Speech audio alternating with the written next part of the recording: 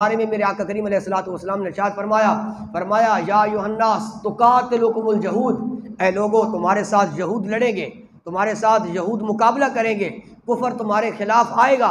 फरमाया, लेकिन फ़तुसल्लतून अलैहिम, और तुम उन पर गालिब हो जाओगे। हत्ता यकून अलहजर यहाँ के एक यहूदी होगा, और वह एक चट्टान के पास आकर बैठ जाएगा। चट्टान के पास आकर अपने आप को बचाने की कोशिश करेगा।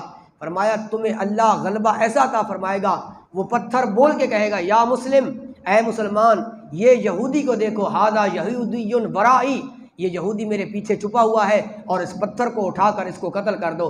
हमारा इस्लाम ये कहता है कि जब तुम पर ालिम जुल्म करने लग जाएँ, जब कुफार तुम पर जुल्म कर ले जाएँ, फिर इस्लाम अमन का दर्स नहीं देता। बाबा जी अल्लामा खादिम हुसैन रिजवी रहमत ताली फरमाया करते थे, इस्लाम अमन का दर्श भी देता है, लेकिन इस्लाम गैरत का भी दर्श देता है कि अगर सिर्फ़